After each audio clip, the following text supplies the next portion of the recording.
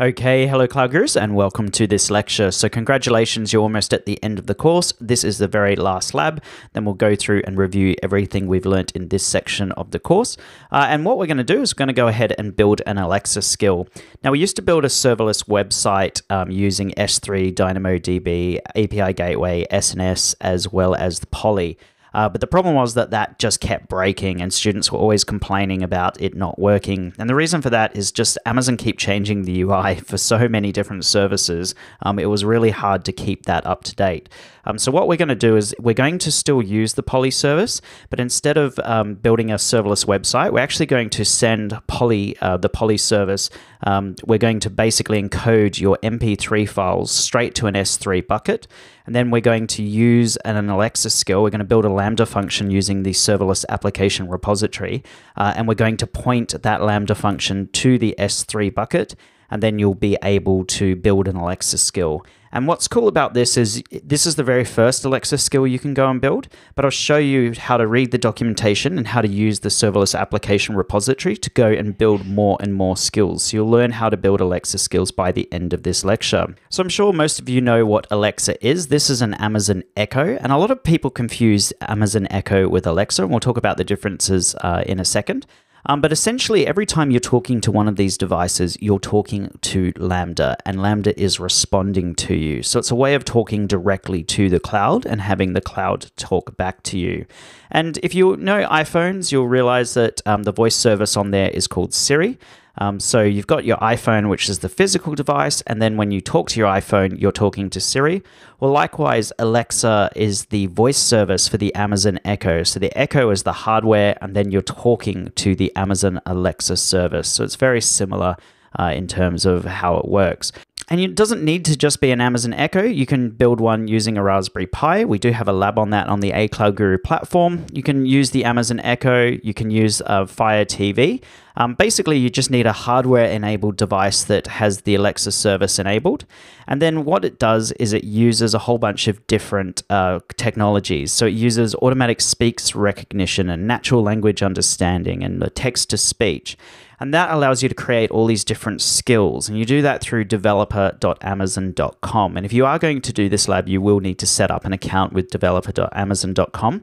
You need to make sure that you use the same email address that you use for your Amazon Echo. Now, if you don't have an Amazon Echo, don't stress. You don't need one to do this lab. You can actually just run it in the simulator as well. So, in terms of how we build our skills, we always start with the skills service, and this is our Lambda functions, and then we build out our skill interface. And our skill interface will consist of the invocation name, so that's just the name that you use to um, enable your skill. So, it might be Alexa Open Ryan Kroonenberg. Um, and then we have our intent schema, our slot types, and our utterances. And again, we do have an Alexa course on the A Cloud Guru platform. You may want to go check that out where we start doing deep dives into all this. Um, but in this one, we're going to build a very simple skill. So this is a lab, and you will need to log into the AWS console. Okay, so here we are in the AWS Management Console. The first thing we want to do is just go ahead and create an S3 bucket. So we're going to go ahead and create a bucket. I'm going to call it A Cloud Guru Polly 2019, something like that. And I'm going to go ahead and hit create. And that already exists, so I'll call it A Cloud Guru Polly Assets 2019 and go ahead and hit create. And that has now created my bucket. In here, I'm going to click in here. I'm going to go edit my public access settings. So we do want to make this bucket public. So I'm going to go ahead and just type confirm. And then we're going to go and give it a bucket policy, making everything inside it public. So let's click in here, go to our permissions and go to our bucket policy. And this will be available in the resources section of the course. Just go ahead and copy that into your clipboard. And then we're going to paste it in here. And then we're just going to change the resource ARN. And we're going to grab our ARN from here. So just copy that into your clipboard and then go over to here and paste it in. And go ahead and hit save straight away you'll be able to see that the um, the UI has changed, saying, "Hey, everything in this bucket is now public." So we're going to use this bucket to store our MP3 files, and we're going to basically take some notes and then generate um, MP3 files using the Polly service. So go ahead and copy that into your clipboard. This is the um, ARN for the bucket. Actually, you just need the bucket name. I don't think you need the ARN. So just copy the bucket name into your clipboard. And then what we're going to do, I'm going to go over to services and we're going to go down and find the Polly service. So the Polly service can be found under machine learning and you'll see Amazon Polly in here.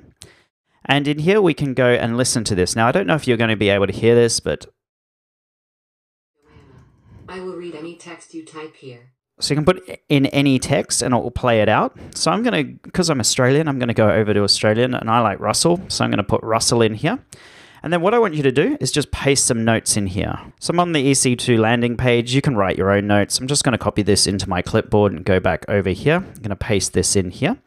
Um, so we basically it's just saying Amazon's Elastic Compute Cloud EC2 is a web service that provides. I'm not going to read the whole thing to you.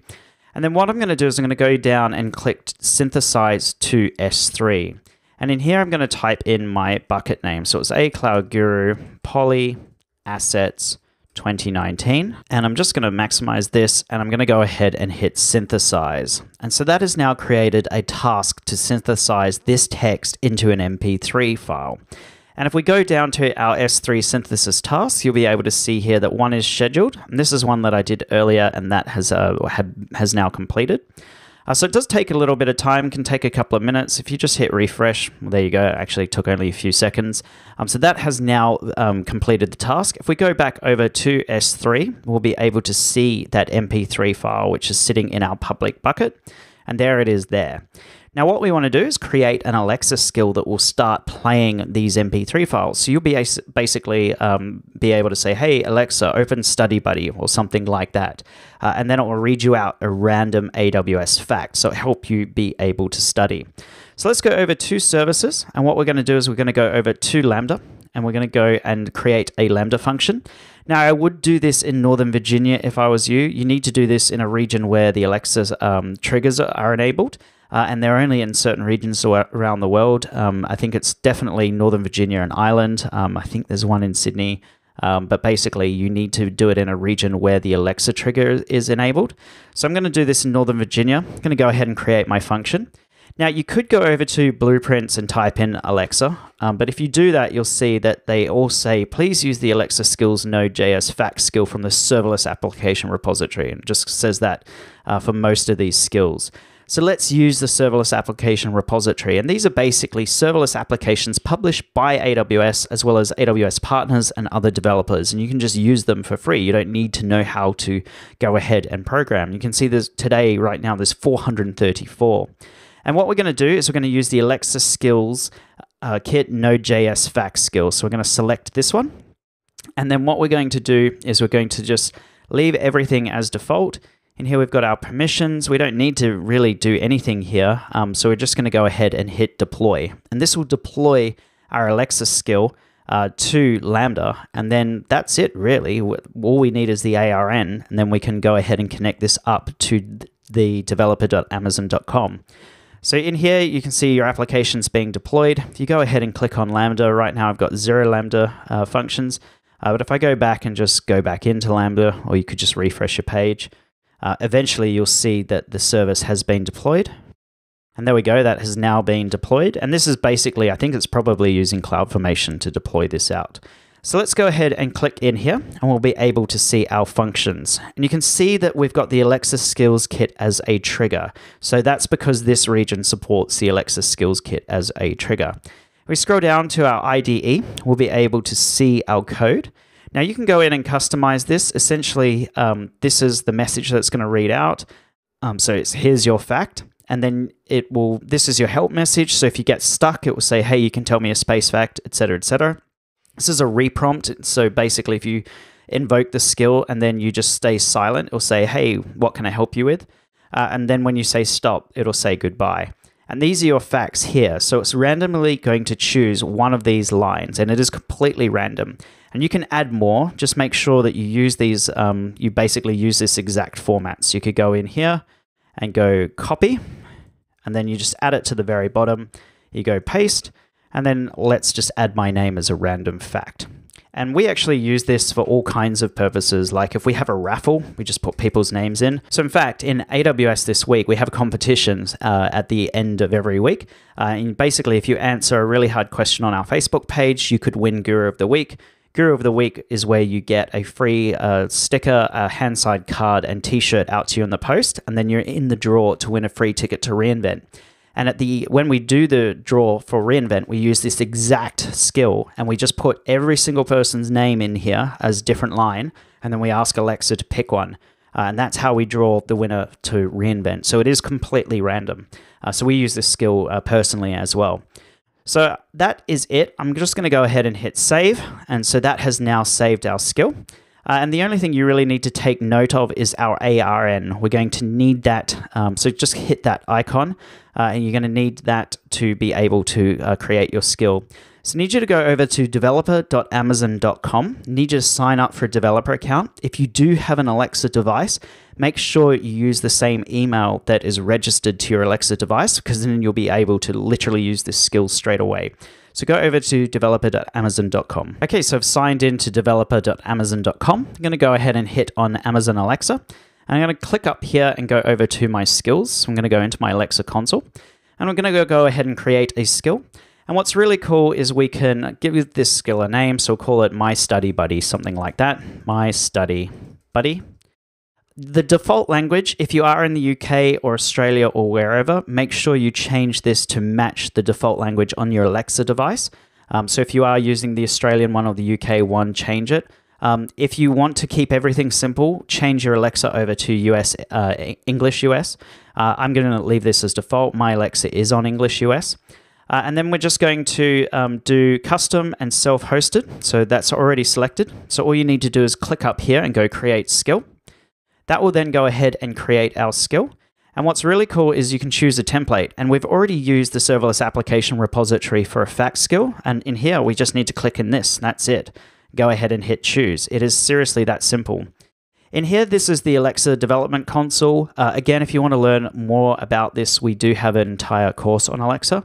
Um, in here, we've got the invocation. So what's the invocation name? Right now it says Space SpaceFacts. I'm going to call it Cloud. Yeah, let's do Cloud Facts, something like that. That might be easy. Uh, and then we're going to go down and we're going to go ahead and save our model. Before we build our model, the only other thing we need to do is go to our endpoint.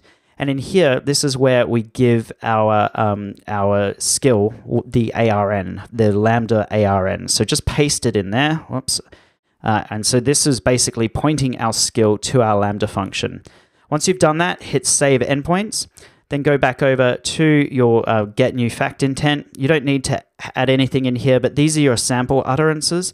So you say, hey, Alexa, ask cloud facts a fact or a space fact. We might want to change this to a cloud fact. In fact, let's add that in, a cloud fact. And going to hit plus and that adds it to our utterances. So an utterance is just a way of saying something. So I'm going to go ahead and save our model, and then we're going to go ahead and build our model. Now the build will take a little bit of time. I'm just going to pause the video because it takes a couple of minutes, but as soon as it's um, built, you'll see a little notification down here saying that it's done. And you can see down here that the build is now successful. If I go, go over to test, I should be able to test this. And we're just going to turn the test on to development, and that will allow us to test. And then what we can do is say open cloud facts. I think it's cloud fact. Let's have a look.